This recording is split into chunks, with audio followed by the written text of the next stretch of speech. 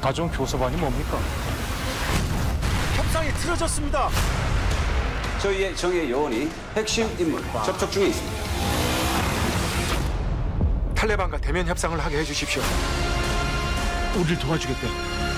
지금 작전 들어가면 제일 먼저 도적관이 위험하다고!